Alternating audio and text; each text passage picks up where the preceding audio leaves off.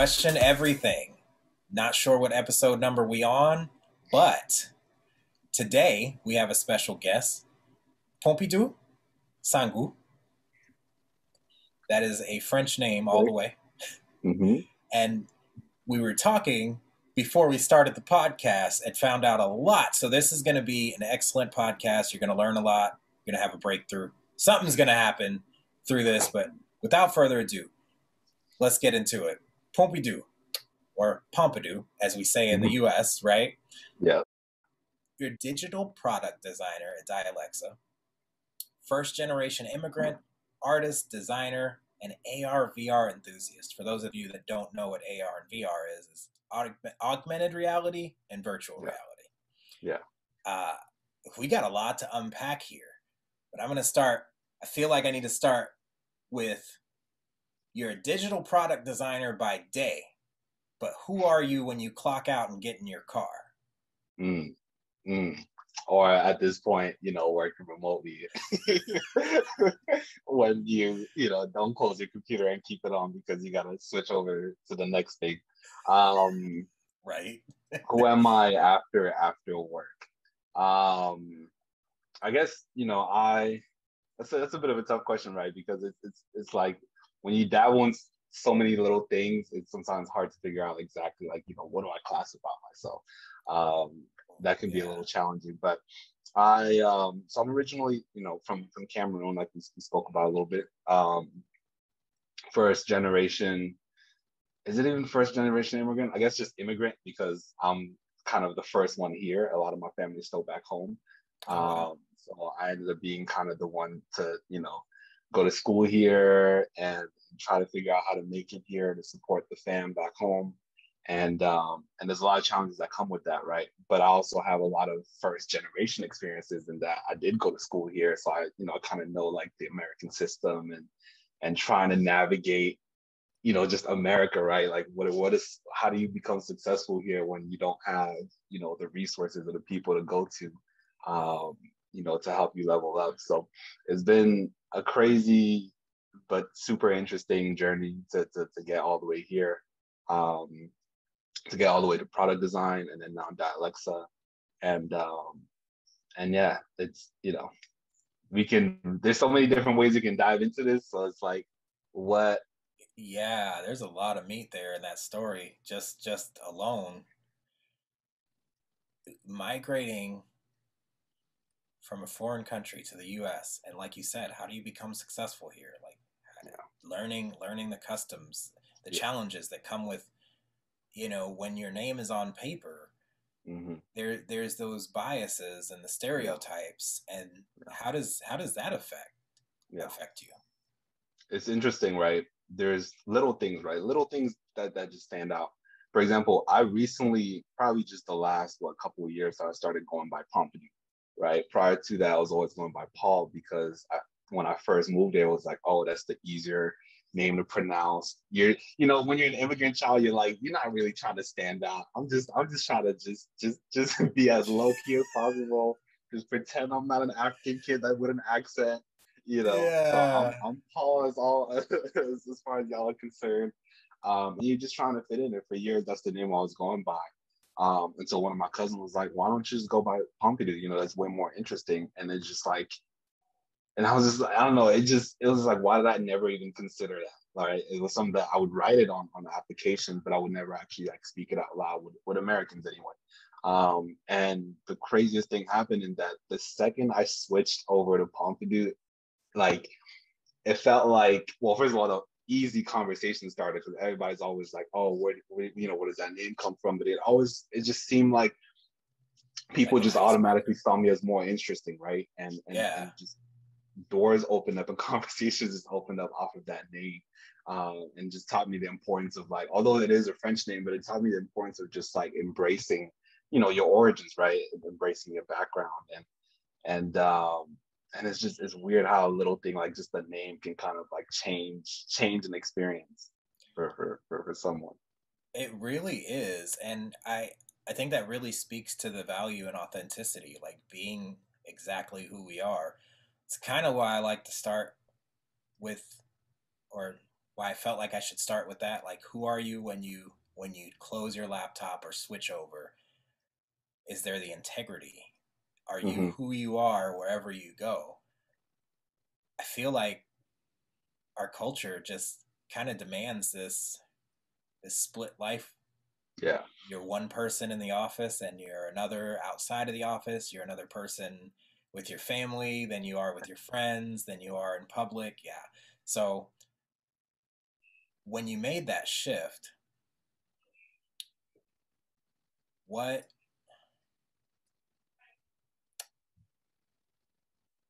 what was the I imagine it felt heavy going by Paul, right? Mm-hmm. So, what did it feel like there was a weight lifted when you when you embraced exactly who you are? Absolutely, absolutely right. Because again, by going by Paul, it was me trying to be like, oh, let me make it easier on everybody else, right? Let me not try to, you know, push them to try to pronounce my name, right? Looking out for others, except and not myself. And the second, like I made that push to be like, yeah, my name is Pompidou. And, you know, of course they're still gonna mess it up, but like still allow them the chance to like correct themselves. And then they were like, oh wow, that's super interesting. Where's that from? Blah blah blah. It was like, okay, like this was never one, it made me realize one, this was never that big of a deal to begin with. And if I had just embraced, you know, myself sooner, like Lord knows the, you know, type of doors and opportunities I could have had. Um, mm. but it, it was, it was, I don't know, everything is all, everything is timing, right? And I think, you know, it, it, it was important for me to make that change. Um, but it just helped me like embrace myself even more. Um, it, it helped me just kind of be, be more, be more transparent. Um, and thankfully now, like, I love what you said about being a different person in different in different spaces right and i think we all ultimately just kind of want to be ourselves especially yeah. as minorities like i just you know we kind of just want to be ourselves when we when we go somewhere and it's, it it can be a lot um, just just emotionally taxing and just constantly having to like switch up you know I'm, yes. I'm, this person here and this person there um, and you know and i remember i think even before i got into design right like being in jobs where that weren't creative right and that could be mm. a, a stress too where you know you're you're working in this job and it's just physically demanding and you're doing the work but like you know it's it's not mentally challenging enough, right? Like you want to be able to do more, but you can't. And it's like, and, and this weird space that you're in where like, you know, you don't belong here and you're, you're trying so hard to like get out of right. that, that hole. Uh, but, but it's, it's such a difficult journey and to finally kind of get out of that um, and be in a space where I feel like I feel like, and I think that's a beauty of product design because I feel like it gives us the ability to like fully be ourselves, which is really a blessing because not everybody has that, right? like absolutely to be able to go to work as yourself like sometimes depending on the company dressed as yourself like you don't have to you know you don't have to try to pretend like you you dress you wear suits every day um you know you get to just be you and then and then and then that switch from leaving work to going home doesn't feel drastic anymore it's just it's just you all day every day and that there's a freedom that comes with that man and it's, it's a real blessing that I, I I don't I don't take for granted. Absolutely, man. That's I love that you. Sh- there's so much in your speech that to unpack, but the the thing that's coming up in my mind right now is vulnerability. That's what I hear. Like that embracing yourself, becoming vulnerable, yeah. intimacy, like letting people see into you, into me see, right? And the mm, weight that that, that the weight that that lifts, I feel like it's great for us to have it in product design, but as we're molding this new world, as we're creating this new normal, don't you think it would be so much better if everyone got to experience what it was like to be exactly who they were wherever they went? Like if if they took the way we are in product design and just let people be who they are and embrace yeah. who they are and like accepted everyone's differences, how much better of a world we'd be living in right now. No, absolutely, man. I, I I agree. And again, I have friends that are not in tech, right? And when they tell me about their jobs, it's it's it, it feels archaic because it's like what? Like they don't you know like it's just like people still do that? Yeah like and, and it's and i think that's the privilege that we're in and that when you're surrounded by a bunch of product designer friends now it's like oh we're all just like almost living in this fantasy land where everybody else still you know is still very structured very strict. A lot of companies are still um doing things kind of the old fashioned way and it's like i don't know like imagine just the quality of life of your employees if they just if you just allowed them to just be themselves right? Like they'll they're still right. they'll still do their best work but now they're going to be even happier doing that because they know they don't have to constantly deal with the pressure of having to like adhere to a very very very strict code or whatever. Um and um because a lot of these rules that that were imposed before just were really meaningless to begin with, right? It's just we, yeah. we, we, created these these arbitrary rules around, oh, you got to dress a certain type of way or wear a certain type of hairstyle or can't have colors, it's too distracting, like all these different things, you know. And now tattoos, right? Tattoos, yeah. all that. Pandemic happened. You got I don't know, like it's it's everything's kind of changed. You realize like a lot of this stuff doesn't even matter. Um, and it's it's for the companies that are already doing it where they're allowing their their employees to just beat them i think that's beautiful. And for those that haven't like i think a lot of industries still need to catch up. And unfortunately a lot of them just aren't there yet. That's very true and it's sad but i feel like the entire world was thrown into one giant design thinking yeah. exercise when when the whole pandemic happened and you you touched on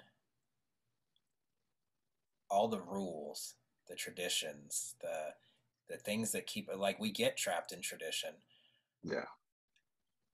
It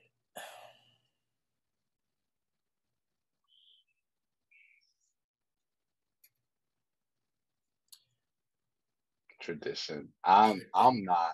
And that's the thing, like I'm not that's something that I realized about myself over the years. Like I can follow rules, but I don't like rules. I'm a I I, I think naturally, and maybe again, this is another one of those things that like where your soul just attracts you towards a certain profession. But like I just I just I've never been I've always just liked, you know, exploring new territory, just venturing out. That's why I like AR, VR. I just I like new things, new cool tech that, you know, or just areas that people haven't ventured in before. And um, and yeah, like I don't like.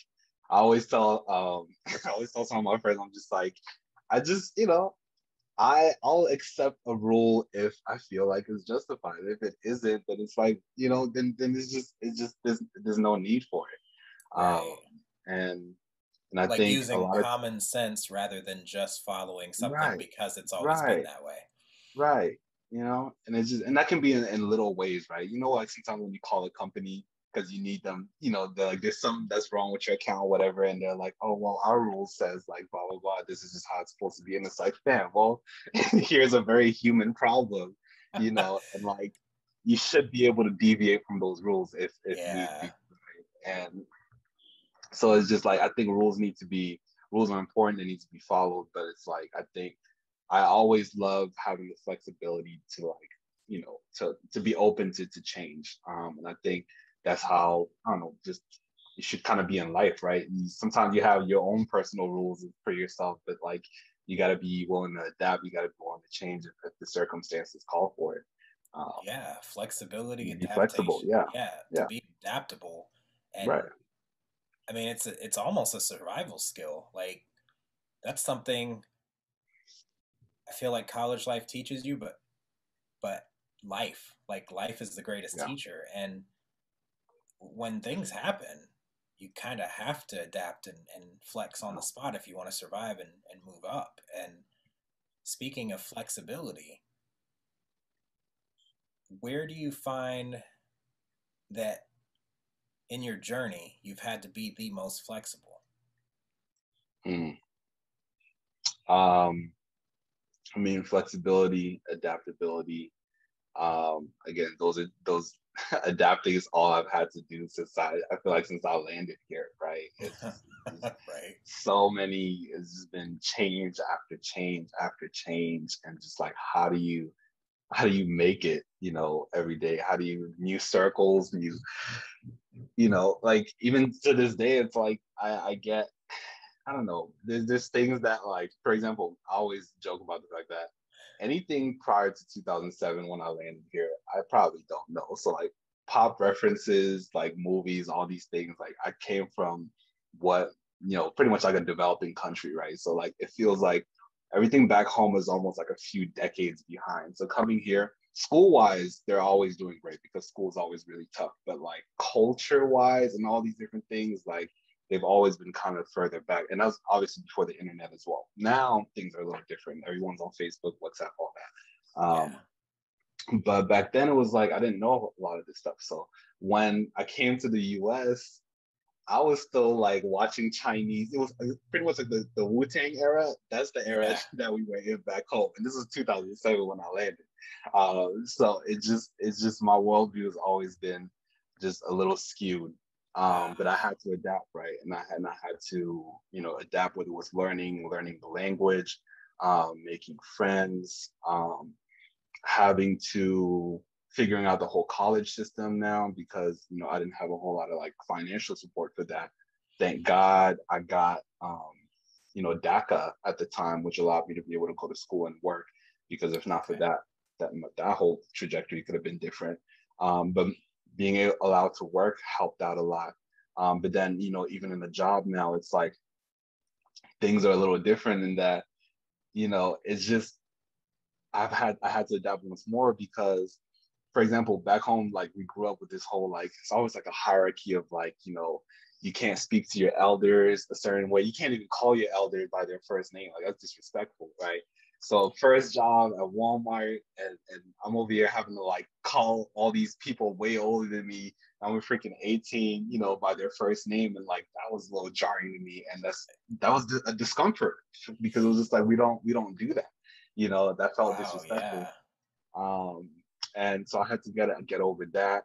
And then six months later, I was able to become a, a, manager. And now I'm like freaking still 18, having to manage a bunch of adults, you know, people like, you know, damn near my mother's age. Uh, and again, back home, this would be absolutely insane. Like, are you kidding me? Like, you, you're 18 managing a bunch of grown folks. Like, nobody would even allow you to. Um, yeah. But I had to, I had to adapt still, right? I had to, I had to find a way to like still communicate with these people uh, and while showing them respect because I, you know, respect is just super important just to me and in our culture.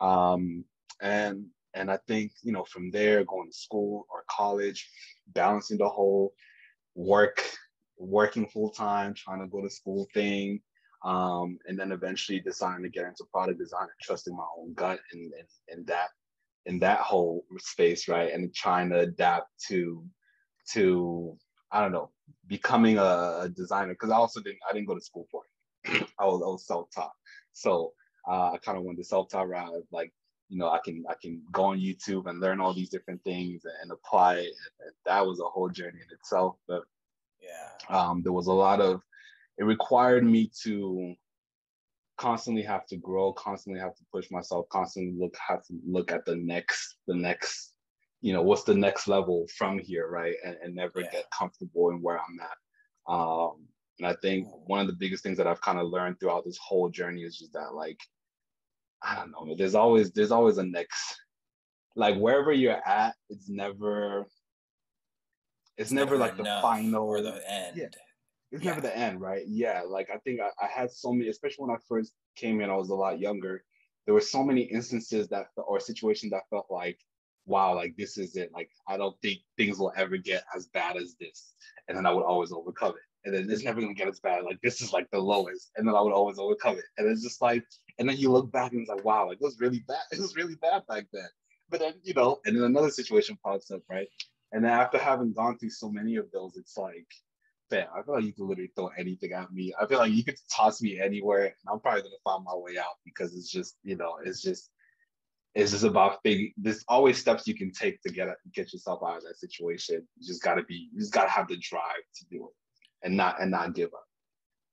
I love that you touched on that because that that was going to be sort of my next question is while it may seem like a disadvantage at first coming into a new country, having to adapt, having to be flexible, having to figure things out, it actually probably was an advantage because mm. you you built this muscle that most people don't get because they they never get out and see yeah. that there's a world outside of the yeah. the USA and that yeah. you know not not everything is as limited as we have it over here or as as easy sometimes like I know growing up in France like you said the the culture was 10 20 years behind when I got there mm-hmm. sneakers and jeans were like whoa you're the cool dude and I'm like what because they're wearing slacks and penny loafers and yeah that wearing that to school. Yeah. Now, I know that it had to feel kind of overwhelming. Was there any sort of mentorship or a relationship that that inspired, encouraged, or motivated you? And if so, like how did you nurture that relationship? Mm. I think um I've had I've had I've been fortunate in that I've had like very key people that really just kind of like just just help me throughout the years, just kind of just kind of keep my head above the water really. Um, you know, I I think as early as like back in middle school, I met my best friend and our relationship just I don't know, he was always someone that very different from me. For some reason, we always just kind of clicked, but you know, he was like very American. Um, and and at the time again, I'm just I'm just this new African kid, like America is still new to me. I don't really understand anything. Um, but just kind of watching him navigate the world and just his charisma was always like was always interesting. Um, so that kind of helped helped me stay grounded throughout throughout you know middle school, high school, all of that. Um, I've had teachers over the years that really like took their time to help me out. Um, those have always helped. Um, I've had um, a mentor, like a church um, pastor, you know, who who who who used to like he would come, he would have Bible study with us, and just kind of you know just leave words of wisdom here and there, and and and like and it was one of those things where it wasn't even like a direct mentorship, but it was one of those things where like he left enough nuggets that it, it just kind of stayed with me, you know, yeah. forever type of thing. Um, and and but a lot of it, I think, I don't know, man. A lot of it was was also just kind of being being not wanting to give up and knowing that like I had people back home that I wanted to to make happy, right? That I, that I wanted to make proud. So like, and just kind of pushing forward regardless of the of the obstacle. Um, and mm. you know, but I've I've always tried to kind of keep I don't, I don't know I've always had like people in my corner that I felt like okay if, if things were bad, you know, they'd be willing to kind of step up and, and support and and that's always helped. Mm. So you definitely can't you can't get you can't get to whatever level of success that you're trying to achieve alone, right? It's one of those things you always there's always people along the way that that that can help you. And that's been a big blessing too in that I feel like God has always blessed me with at every point that at every level that I've been at, I've always had someone to, that just came out of nowhere. So because again, I don't have any, I don't really have much family here, so I can't even be like, oh, I had this uncle. And, like, no, it's just I've always had just this this random person that just popped into my life, just kind of help like help me out, um, just to make it to the next year, and then the next year, and then the next year. Um, and some of them come and go, and some of them have, have, thankfully stayed. I've been able to just almost like collect people here and there um, that I can almost call family. But and that's, that's been, awesome. I think for me, that's been the biggest blessing. Just like, just just relationship, right? The power of just you know, community, people helping each other, um, and because that's that's that's impacting me a lot, and that's something that I try to like push for in just in any environment that I go. Man, that is amazing. Like that is the epitome of faith in action. Like you had to take the step and continue to put one foot in front of the other, not knowing what was coming next. And like you said, just people came out of the woodworks. Just every step of the way, yeah. you had someone to help you. Almost yeah. like serendipity, right? Yeah. Just it works out just the way it's supposed to. Yeah. if you just keep going. Yeah. So in Yeah, that's that, the key takeaway. yeah, the the perseverance, right? Yeah. So I like what you said about you can't do this alone. If you want to go fast, go alone. Mhm. If you want to go far, you have to go together. Together. Yeah. Now,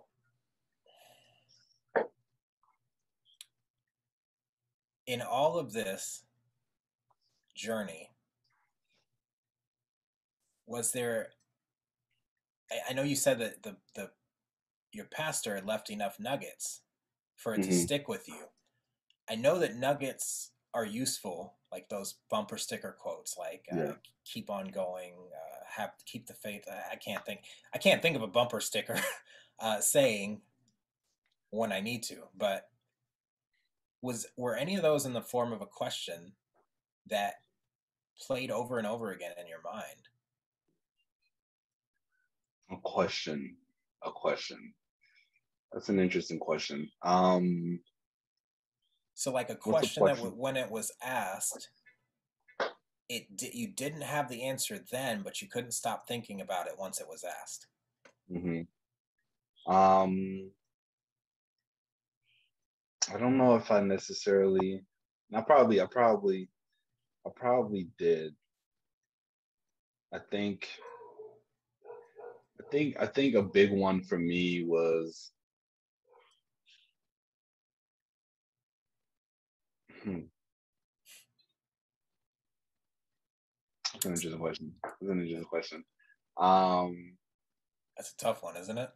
it is. It is a question that that is definitely. I don't think it's definitely like a, a bumper sticker type thing, but um, could it be like just something that you you I don't know, kind of question in your in yourself, like yeah, absolutely. like a because I I think I don't know, like, am I able, can I really do this? Right? Is one of those Mm. things, you know, that I've I've always kind of just asked myself, right? Um, and thankfully haven't allowed myself to to, you know, to say no to that answer. I've always I've always tried to, to thread forward, but I feel like I've I've I I put myself in a lot of situations where um that were definitely outside of my comfort zone. Um, that were definitely me trying to maybe even overreach for something that probably couldn't even do. Um, whether it's like starting little businesses here and there. I think back in um, right when I graduated from high school, I tried to start like a, a delivery service business, um, similar to the freaking DoorDash and all that. But again, that wasn't really a thing at the time. And part of it was because you know I was working at Walmart. I had certain customers that you know had Ill- certain illnesses and all that, and they didn't have anyone that could deliver to them. Um, so sometimes they would it might take weeks and then they'll eventually come to the store to try to pick up everything, but like they needed they needed a lot of help. And I was like, I was hoping that I could try to come up with some type of service to be able to, you know, deliver to people that just weren't able to kind of move, right? Um Yeah. or move easily. And um life happened, wasn't able to kind of get that off the ground. But again, like thinking about it today, it's like, wow, that's that's a big, that's a big like because I had already like come up with like different systems of like, you know, if someone was to text us the number, there'd be like an automated response, all these different things, like finding creative solutions to like to, to make this this this this system work. Um and um but that's you know, it was a pretty big or it could have been a pretty big and taxing business, right? But at the time I was just like so like, oh, I can do this, I can do this. Um, that I didn't even think about just the, the scale of it. Um yeah. and you know but I've, I've i've i feel like i've tried to tackle a lot of these like big projects where you know the question is like can i really do this? And i've always kind of told myself yes even if i even if i couldn't. Um and even if i failed the blessing was that i always learned a lot in that process. And i feel like i've learned so much from a lot of my failures Yeah. that you know it's led me all the way here right? And and i, and I wouldn't i wouldn't take it back. Um, but can i really do this? I think is definitely one of those questions that that I, I I used to always ask myself and I still ask myself because there's always new things that I want to like try to push for and and it's like it's difficult, it's intimidating, you know, it's like can I is this is this me? Um am I really meant for this? But you know, I try to always push forward with when I feel like when I get to that point where I'm asking myself that question, that's a good thing. And yeah. I should probably like, keep going forward. I mean, yeah, if there's doubt, that just means you're doing something big enough, right? Right. right. And now, in that doubt, and you pushing forward, would you say that there was a point where you had an aha moment where you realized that, like, for example, my first UX project was a volunteer project. It was pro bono. I was helping mm-hmm. uh, Joy Kendall with the app Quixit and the redesign. And in going through the process, I realized there that I knew what I was doing. And then it was reinforced when I volunteered at Dallas Give Camp. And it was like just one of those moments where the imposter syndrome just melted away. Yeah. Was was there was there a moment like that for you?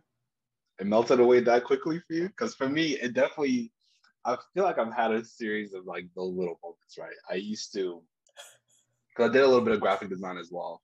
Yeah. Um, and I was freelancing a lot. And um, when I decided to switch the product and I started designing websites, I went on Fiverr, decided to, you know, just kind of start putting my services out there. Um, and I got a client and he would like come to me with work.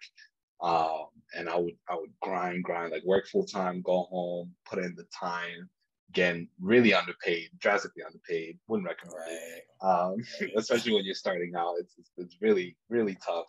Um, but at the end of it, I would always deliver you know the project and he would always be happy. And and, and i think all those like small wins kind of help build my confidence especially not having gone to school for it.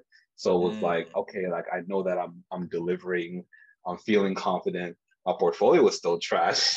I didn't know how to reflect it properly. But but i was like i was like i know i can do this you know they just don't know it yet, but I know I can do this. I know if I'm given the opportunity, and I just know my work ethic. So I was like, I know I can do this, but I just need the, the, the opportunity. Um, but I think even in still getting, I got a job at a at a startup, you know, and I was doing that, and I was able to like, I was pretty much the, the sole designer on on the team, and and and working with everyone, and that gave me another boost of confidence. Um, and I think some of the people around me helped kind of boost that confidence as well because they were like, you're always like super humble, but like you're doing really great work. And for me, it was just like because I know where I want to be, I just never felt like I was I was there yet. Right? Like I never felt like I was doing enough. Um, yes. And I think it wasn't until maybe like two jobs in, or I think yeah, the, the job after that, that I was like, okay, that I realized like, because I got a job after that, I got a job at Citi, right? And and I think working there, it made me realize like, oh, like this whole time I've been thinking that I need to like get to like this crazy high level before I can feel like really feel like a designer, right? And then you and then you realize it's like ultimately it's about delivery, right? Can you deliver, yeah. right? And if you yeah. can, then then you're doing it. you know, you don't you don't need to be this master designer selling courses and all this stuff for you to be able to call yourself like a designer. It's just you know you're gonna get there, but you're already there. Um, and I think that helped me kind of just like finally let go of that that that that anxiety that I had about like not being good enough. Mm, that's really good, man. I like what you said. It melted away for you that fast. like, it stuck with me because mine, mine, mine lingered for a little bit. it's still lingering, even with doing this podcast. It's yeah. I started this about a year ago, almost to the date, and why it's it's only like the 15th episode total when I've had mm-hmm. so many conversations could have been amazing podcasts. There's there's so much meat in these conversations that for for that doubt to drive you like that actually inspires me because even though I'm driven like you said there's that bar that we have set for ourselves so we know where we want to be and we know we're not there yet so we mm-hmm. it's almost like we don't appreciate the little baby steps along the way yeah.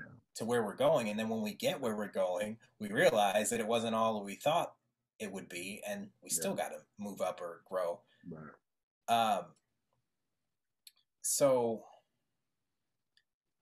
it sounds like you're pretty crafty, and I know we all have our our hobby or some mm-hmm. some side project that we're doing at some time.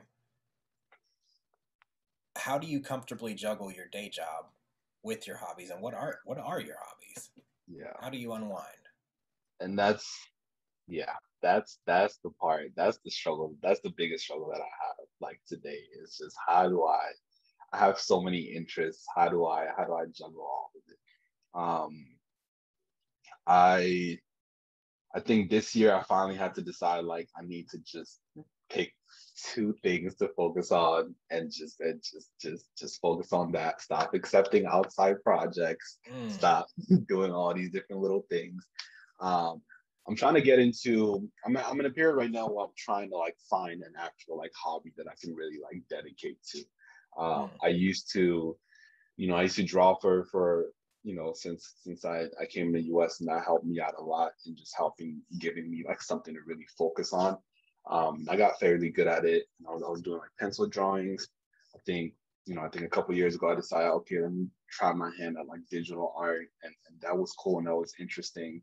Um, but finding the time you know, to sit down and draw while you're trying to like, because I was still, you know, in that grind phase, right? And it's yeah. hard to like maintain a hobby when you're in that grind phase of trying to get this job, still working my full time job, working on my, every every chance I get, I'm working on my portfolio. I actually mm. laugh at the fact that um because you said that and then the podcast that you had someone like write up your resume or whatever i wish i had done that i would have saved you so much time because the amount of iterations i literally have a folder because that's the other thing. I just hoard a bunch of stuff. So I have a folder of every single iteration of my resume that I've made, like literally slight iterations, and then I would yeah. repost it. And it's just I've done so many changing it. I'm like, oh, maybe it's my resume that's not working. Changing that, changing this. You hit up one article and it's like, oh, have your photo on your resume and like all these cool stylistic creative stuff. So you change it all up. Then you find out somebody else tells you, nah, you shouldn't have your photo on there. Take that down. and you're just like, you're just you know you you just because part of it is because I also didn't have like a specific leader, you know, yeah. to kind of help me guide me through this thing. So it was like just taking in all this non internet nonsense and just and just throwing things at the wall and hoping something sticks, right? Um, right. And and and and that was that was just a long journey. So I'm finally like I feel like I'm finally kind of out of that that grind phase um, where I can actually like sit down and breathe a little bit, you know, be able to have these conversations, be able to, to help different people out um, and kind of venture out a little bit. But photography is something that I've always wanted to get into. Um, I realized that as much as I enjoy drawing, like it's something, I don't know, it's something that I don't have as much time for. Um, I miss just being able to like sit down for like five hours and drawing. And like if I'm not able to do that, it just like drawing for an hour there's only so much you can get done so it's just like it just it kills me and i get so frustrated whereas with photography there's like almost like an instant kind of joy that comes with that right yes. Uh, and and so that's something that i'm really trying to get into street photography specifically because um, it also allows me to like go outside walk around explore potentially meet people like um, i feel like there's a lot of fun that I just I love I love venturing out. So it's just you know let me discover Dallas. Let me find out what's out there that uh, some interesting little corner that nobody's seen. Um, so so that's what I'm really trying to get into right now. Um, but of course, I still have like my little side projects. Uh, I'm trying to create a let me putting it out into the world. I'm trying to create a digital gallery right now, um, like my little personal like digital art gallery um, where I can showcase like you know whether it's my art or other people's art, um, and and that's a really like fun and interesting project because you know it's something that I really have plans to make.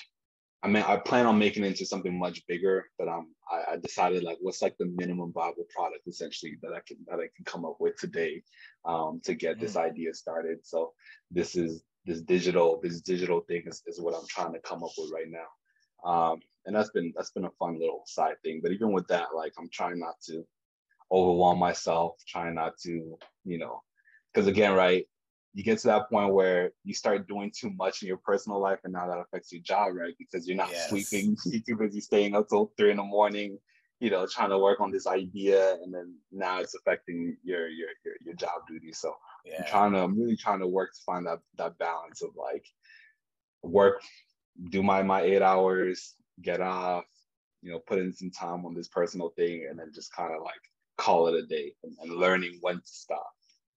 Mm. Especially when your desk, when your workspace, your desk, everything is like right here. It's hard. It's hard to know. Like it's hard to disconnect. You know. Yes. Yes, I feel that 100%, 110%. I'm in my bedroom right now. My bed's on the other side mm. of the mm. screen. Oh, wow. And my bathroom's here. So the only thing I'm missing is a kitchen up here, a mini fridge, and I could live up here. Yeah. That balancing act, man, I feel like that's the creative curse because we have so much we want to do. And then there's so this idea. Yeah, so many ideas. And then the, the FOMO that kicks in, the fear of missing yeah. out. Like, if I say no to this project, are they gonna? How are they gonna feel about me? Am yeah. I am I gonna ruin my my chances? Yeah. And there's yeah. always gonna be something else you can say yes to. Yeah. But I almost feel like there's rather than adding to your plate, there's always something you could take off, right? Mm. There, I don't remember exactly who did this, but it was the 525. Mm-hmm. I want to say it's Jim Rohn, but I don't know. So he said, write down 25 things that you need to do that are priorities. Like, mm-hmm. okay, now out of those, circle the top five. Now, what's the most important out of that? Well, that's yeah. your priority. Everything else is just busy work, right? Right. You like to stay right. busy, especially someone that is is motivated and has a bar set, has a, a north mm-hmm. star, somewhere they want to go. It's hard to stop moving and I can totally relate to what you were saying with the it. it I could get lost in editing these videos and um, doing anything creative, and ten hours can go by, and I haven't eaten, I haven't got up to go pee, my body's hurting, and I'm just in heaven creating. You don't notice. Yeah. Don't notice. So an hour. By the time an hour goes by, I'm like, "What? like I didn't do anything." yeah, I didn't even get started. So yeah, man, it's a real thing. Yeah, in this journey, I, I've had a mantra that that's helped me help me out with this a lot, and it's just do one thing every day that scares you. Right, Eleanor mm-hmm. Roosevelt. I feel like I'm saying that wrong every time I say it. Do one thing every day that scares you. one thing, just one thing every day that, that scares you. Right. Yeah my business coach says if, if your dream doesn't scare you if your goals don't scare you they're not big, big enough right yeah. you almost 100% of the time when you set a waypoint, when you set an a direction that you want to go in, something that you want to reach for, you'll get it. So why are we aiming so low, right? Yeah. Is there a mantra? I know you said the question was, can I do this? Can mm-hmm. I really do this? It it almost feels like it's not empowering, but if you're anything like me, you're probably motivated by pain, right? So Mm. The, the doubting yourself almost makes you have to outperform yourself as well. Right. Right. So, is there, rather than a question, is there a mantra? Is there something that that keeps you going that you tell yourself? Something that keeps something that keeps me going that I tell myself. Yeah, man. It's it's. I mean, I think I've been blessed to despite my my life experiences, I think I've been blessed to never have someone I don't know, like I've never had someone tell me that I couldn't do something, right? Mm. Um, that I couldn't achieve something. Like I knew I couldn't achieve. Let's say, for example, I may not have enough money, I may not have this, the resources, blah, blah, blah.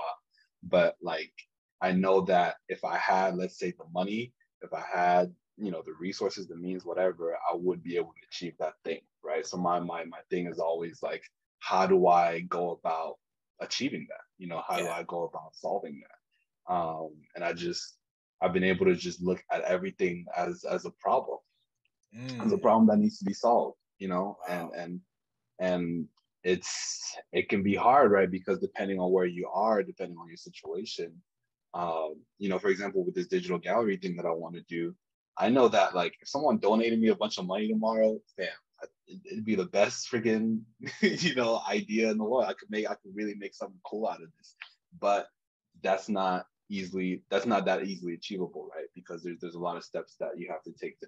Not not not saying it's impossible. I'm saying where I'm at right now, that's not that I can't just like I can't just you know speak to someone and they're like, oh, okay, here's a bunch of money. Um, there's work that has to be, there's steps that have to be taken to get there. Um, and it's about like it's about working backwards and figuring out right. Here's my my big crazy goal that I want to get to.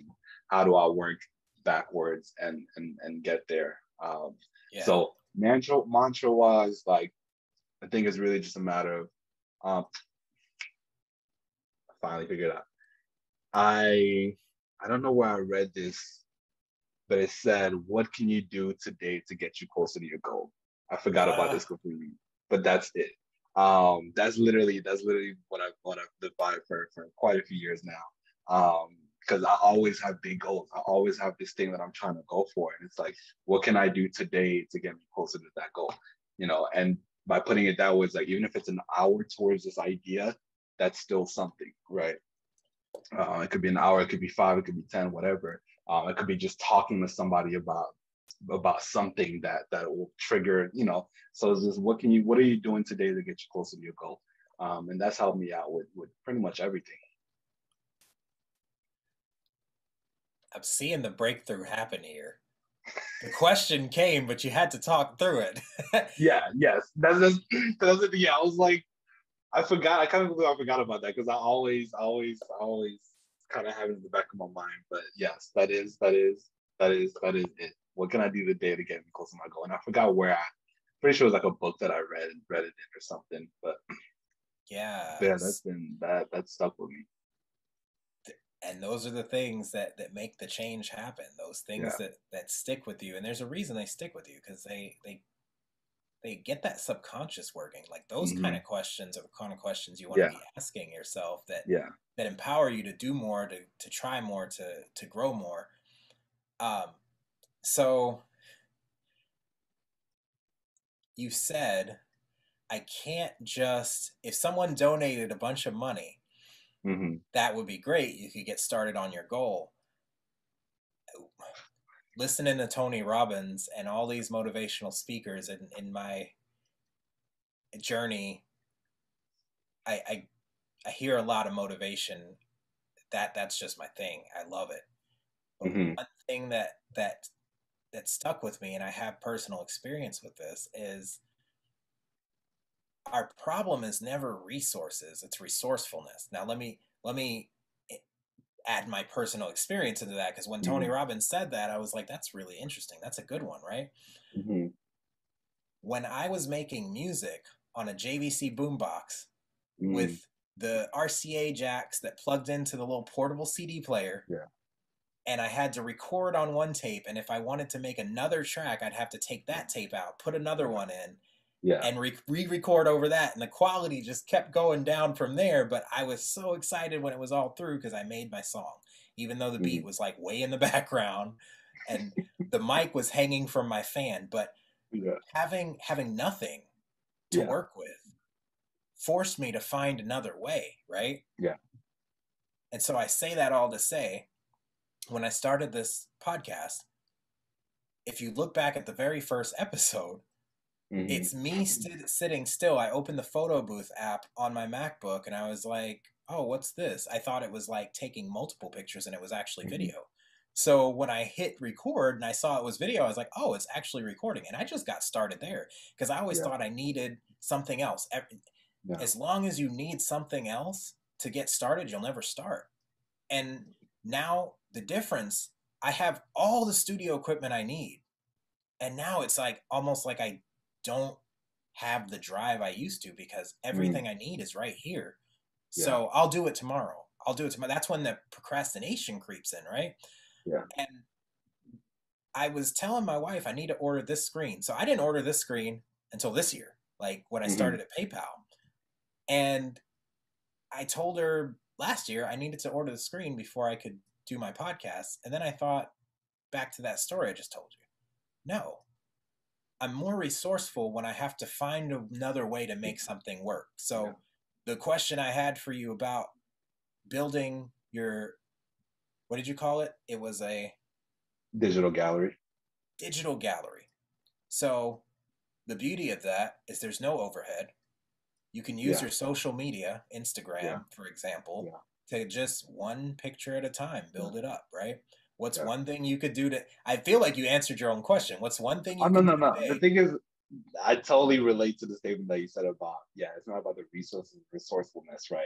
Because again, that's exactly it. It's like me, because me saying like if someone donated me a bunch of money, I could just do that. That was really as as as uh, it it would skip the step really that I enjoy the most, which is is the resourcefulness part of yes. like I know that because that's what happens, right? If you have a bunch of money, it's just like, oh, you can just throw it at somebody. But even then, they're still not going to do it right. So they're still not going to do it the way that you want it, want you know to get it done. So there's there's um there's a lot of fun in in that's really what it is, right? I think with this project specifically, I was kind of getting to that point where I was like, I thought I could skip that step. I could I was like, okay, maybe I could just pay someone to just, you know, get get some of this going for me and I wouldn't have to actually do it myself. Uh, and they didn't do it right. And for the first, because this was the first time I actually done that. Every idea I've had in the past was like, oh, let me just get into it and let me just start it. Um, yeah. But I realized like even, I, I realized there's certain things that you kind of just have to like, you kind of have to do yourself, right? At least in the beginning, you at least have to kind of put in that legwork. Um, so like I was trying to, to avoid, you know, learning how to use Blender and all these different apps that I had used before. But now I've kind of, I literally, yeah, was like, okay, you know what? I'm getting to that point where I'm gonna have to do it myself, and and I, I already have like the Blender app even open because I'm like, I'm gonna have to learn this thing. Um, but for me, that's also the fun that comes, you know, in it. It's you get to build this thing, um, create it yourself, and then like use the resources around you to to work for you, um, mm-hmm. to work towards that next level. So it's it'd be nice to be able to just have you know all the resources in the world and just dump at whatever idea that you have. Um, but i think it's also part of the process to be able to like you know figure it out. But it's, it's part of the process right? To to to work within because everyone has like some type of at whatever level you're at that's the other thing that i'm realizing like whatever level you're at there's always going to be like a crutch that you have right even if you're a millionaire, your idea is going to be a billion dollar idea. It's like how, how do I make how do I make this billion dollar idea happen with my with my measly millions, right? So like you still gonna have to you still gonna have to find a way to make it work.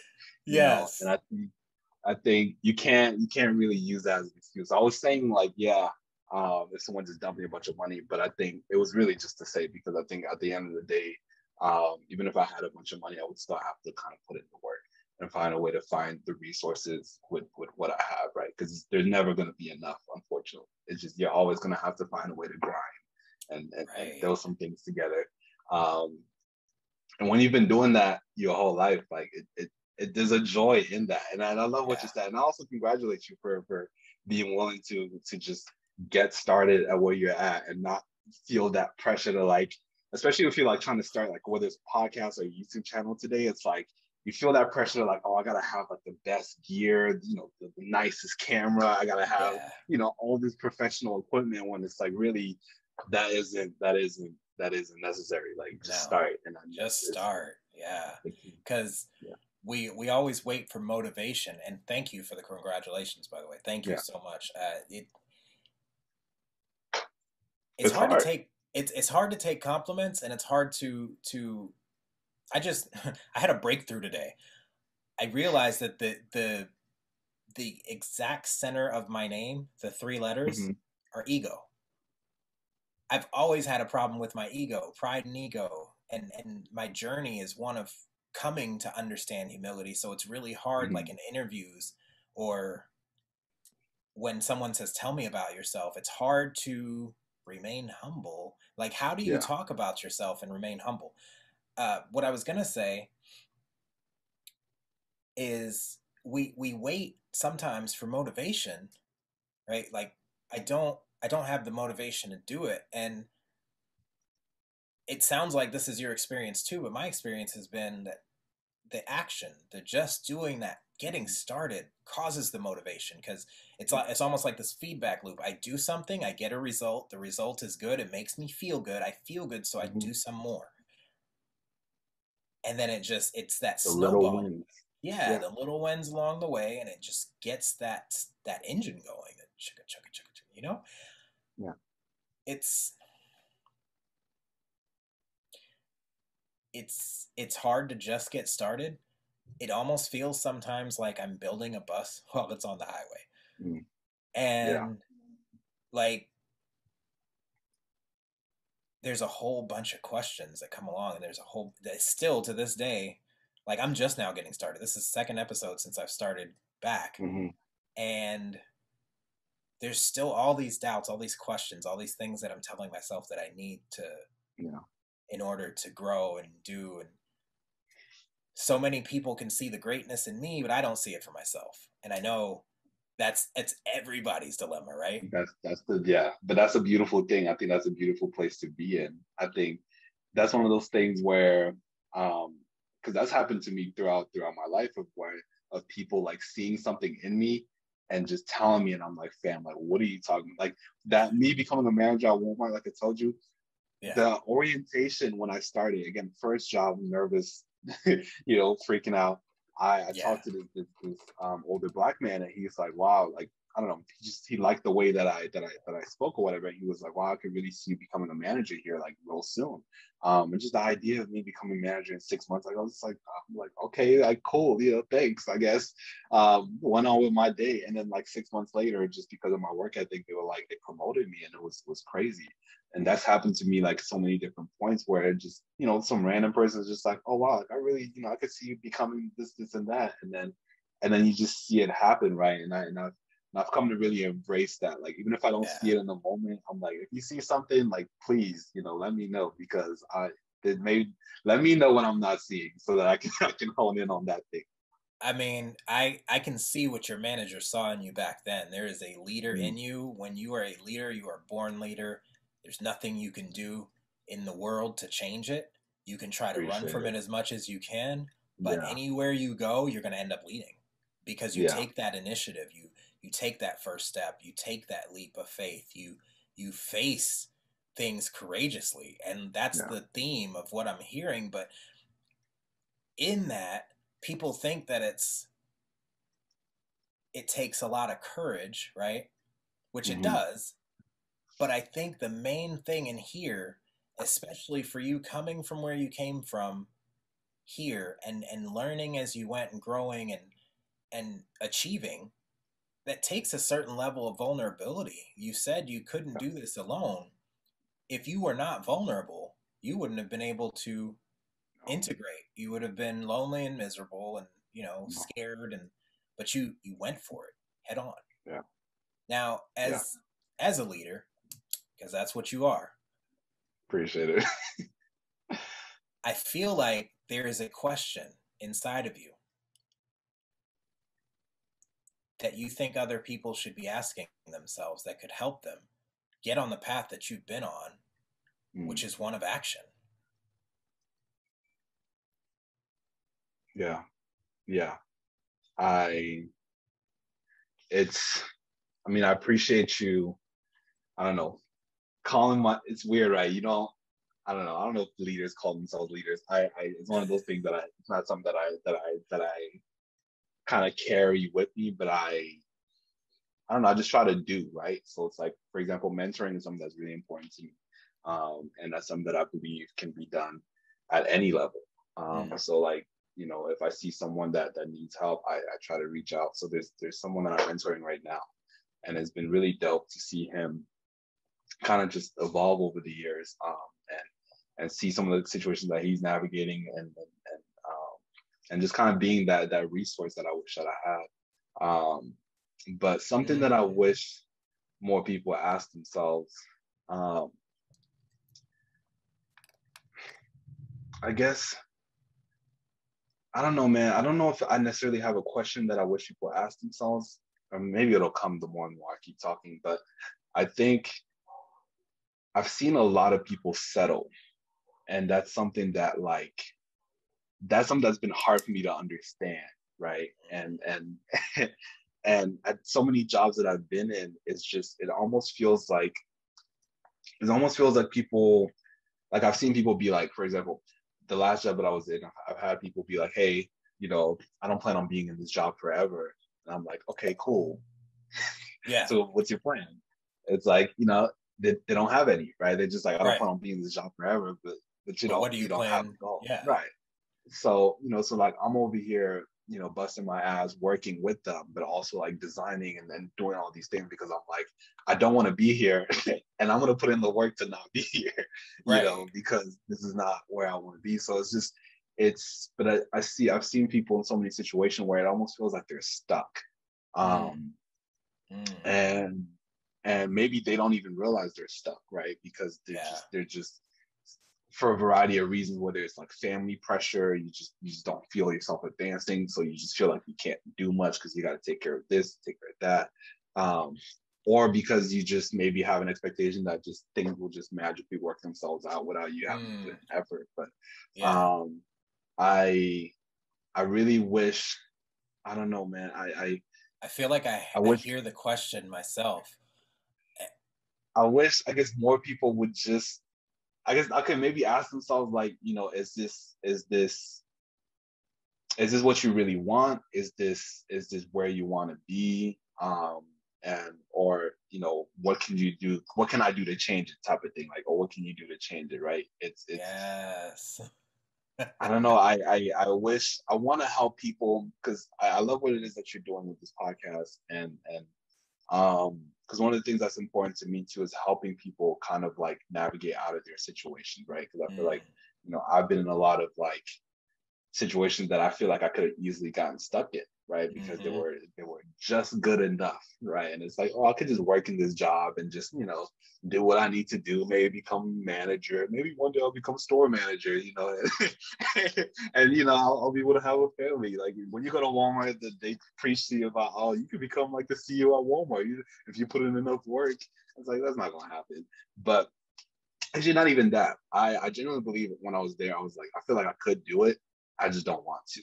Um, right. because there's a lot of like my integrity just just didn't align with their values. Um, but um, but but I've seen a lot of people get stuck in whether it's that job or the jobs that I've had, uh, you know, after. And I wish I could help people kind of get unstuck, you know, help them kind of see that next path that they need to take and not feel so, so. And a lot of it probably is fear, but not feel so afraid to to just take that next leap.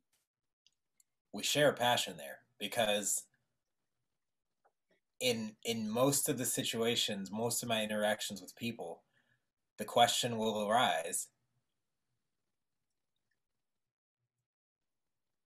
like do you have plans? What else do you do? And they're like you know like you said i don't plan to be here the rest of my life or forever but i don't have a plan either. Yeah. i it bugs me when i see people are stuck or people aren't challenging themselves it just i don't understand it yeah. i think that's a leadership trait too though like mm. we are always challenging ourselves why aren't other people and yeah. and you said it it's i feel like they just get settled into that routine and that it i feel like our brain is just meant to or not meant to but wired to automate certain things so that we don't have to think as hard and, we're going against the grain here making ourselves think and making our like challenging ourselves all the time but it's not for everyone. Not everybody likes that. Uh, I feel like the question I heard here, and to clarify what you said, was Is this the best I can be doing, or can I be doing more? Mm. Yeah. Yeah, I like that. I love that actually. Yeah. yeah, that's that's that's perfect. Yeah, that's, that's perfect. Awesome. I agree. Yeah. Thank you for synthesizing those, those thoughts. Because sometimes, yeah, sometimes I just gotta like I just gotta speak it out. But yes, that, that's exactly it. Um, this is the best that I could be doing. I think a lot of people probably know that they're not doing enough, right? Mm-hmm. But they've kind of allowed themselves to just kind of settle into the situation for a variety of reasons. Yeah. Um, one of the things that I I don't know what, and this is just God kind of giving me wisdom at a young age to do, but I've always um, or maybe it's just from our culture because we put you know our elders on such a high pedestal we like we really value their insight but i've always just like stuck around older people right and watch older people and watch how they move and operate um and i noticed i've seen a lot of older people when i was younger that were stuck what that i felt were stuck right because you know whether it's like they have a lot of regrets or they've just been in the same position doing the same thing for decades and they probably wouldn't even be able to know how they got there, right? And then when I see, and then as I got older and seeing people my age or younger do those same, have those same patterns where, you know, they somehow think things are just there. You know, you think you have time, you think you have all this time that that you know, you just if I I do not have a plan right now, but eventually, you know, things are just gonna figure themselves out. It's like, nah, fam. Like 30 years can go by just like that, and and and you're in the same place, and, you, and like yeah. you can just blink yeah. and it happens. Like, you know, and and and it's why put yourself through that? Why not? Why not? Even if you don't know what it is that you want, why not take those steps? You know, sooner. That because again, it's through it's through conversation, right? It's through putting your getting yourself out of your comfort zone that Lord knows when new opportunity might pop up, right? You might speak to mm-hmm. someone that's like, hey, have you heard of this job that you probably had no idea existed because you're too busy stuck in your bubble? You know, that could right. potentially open up a new door that, you know, changes your whole trajectory. So it's it's there's a lot there. There's a lot there. But I, I, wish I wish more people would challenge themselves out of their out of their comfort zone and just and just try to aim for just a little bit more. Me too. Just I, I a hundred percent, a thousand percent agree with everything you just said. And that's a great segue to the last question here, which is who are two people that you know are challenging themselves to be more, to get more, to do more, and are actually killing it right now that to you would like to see on the podcast? That I would like to see. Okay. Uh definitely first person would be I don't know if you've spoken to her. Shara, have you spoken to Shara? You know, she works at so, as well. Get out of she's, my head. I think if you're like the king of LinkedIn, she's like the queen of LinkedIn. Man, Shara, yes. Shara is everywhere. so what's really funny is that was the exact per- when I thought about asking you this question, uh-huh. I'm like, he's gonna say Shara, Shara Rosenbaum, right? Yeah. Nah, yep. man. Shara. Shara's the best. I I absolutely love her. I think she's great, but she work ethic is is absolutely insane. I don't know how she does it, man. When when, we, when you ask me the question of how do you juggle things, I'm like, I look at her and, and juggling a family and all the different endeavors that she's in. It's yeah. absolutely incredible. I'm just like, how do you manage, man? Like, how do you how do you stay sane? Um, mm. so she's she's definitely a big role model for me. I'm just like, you know, I want to be like you when I grow up, Shara, because because you're killing it. But yeah. yeah, that's that's funny. Yeah. So little backstory. I've been meaning to talk to her. We've been trying to sync up for like two months now. Yeah.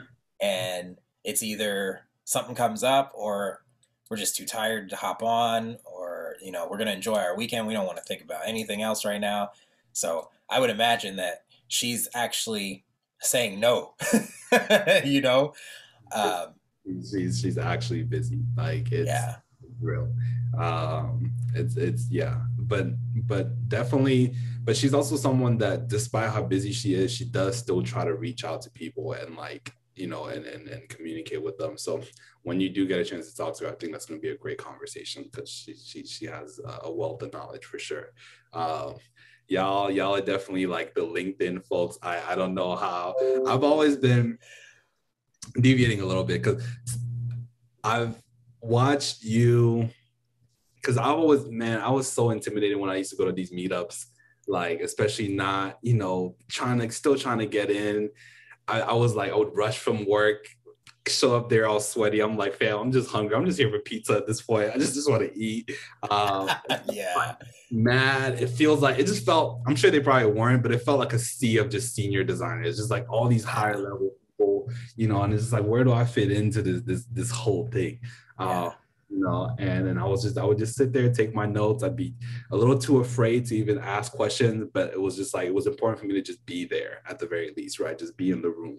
Yes. um, and the pandemic definitely helped in that once everything started switching to virtual it was a little easier to kind of just reach out to people on linkedin and not have to like be there in person. Um yeah. but yeah so but I've, I've always watched how like you would just navigate these. fair. I feel like every every event I would go to, you would be you would be there. I was man, I was trying to. I didn't. I didn't know how else I was going to get in besides uh-huh. immersion. It's like learning a language. Like, yeah. how do you learn a language? You immerse yourself in it. Right, you got to be in it. Yeah, I found the culture. I found the people, that were doing what I wanted to do, yeah. and I was like, let's let's talk, let's mingle, let's yeah. network. You know? Yeah, no, it's it's I, I I would rush to these events, and and it's again, it's part of you know you have to get yourself out of your comfort zone, right? You got to do things that are, are outside of your norm, and and yeah. I really I didn't feel like I belonged there. I didn't feel like these were people, but it. Yeah. But eventually, you know, once that that imposter syndrome kind of goes away, you realize like like all these people are also here asking the same question. They're all, you know, we're all trying to do the same the same thing, right? And there's, there's, yeah. there's a nice little community there for sure. Um, but but no, second person that that I look up to that's really uh, flourishing right now. Um, hmm, hmm, hmm, hmm.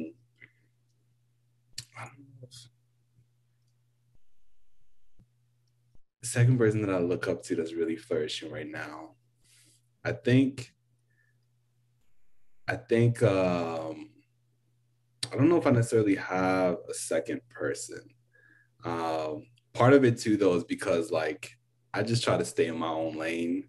Right. Right. And like I I try not to compare myself to anybody else. I try not I try to just, you know, I try to just kind of do my own thing and, and make yeah. sure that I'm doing the best thing I need to do, just mental health wise. Because sometimes you begin on LinkedIn and it's just you feel even more yeah. like an imposter. Like yeah, people are, it crushes your soul. Yeah. yeah, they're putting out articles. They're giving UX tips. Right. I'm over here. Do I even right. know? Like, right. It's just yeah. Everybody, everybody is just excelling everywhere. So it feels like you know, it, it, it feels like, but um but I kind of try to stay in my own lane. But there's, I mean, there's a few people, obviously.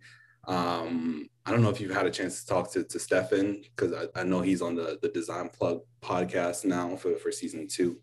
Um, I have not. But yeah, that's Stefan. definitely yeah. Uh, Sonia.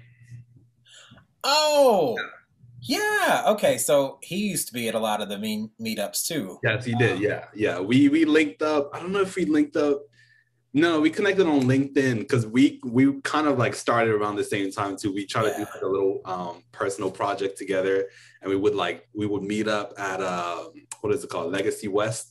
Yeah. We would like go up there and like try to work together and come up with all these designs together. And man, one of the best things about this industry for me has been just watching the people from like two two years ago, two to three years ago, and where they're at today. And like yes. that motivation. Like we were we were both like trying to figure this thing out, going to these meetups, not knowing what we were doing, what to expect.